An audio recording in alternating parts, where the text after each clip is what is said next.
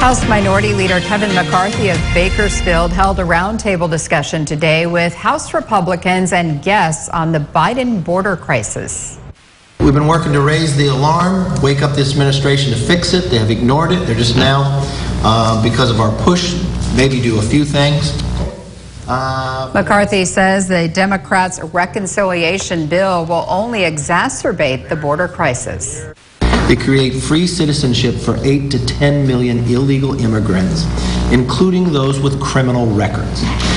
And no new funding for border security. They actually spent money to stop building the wall.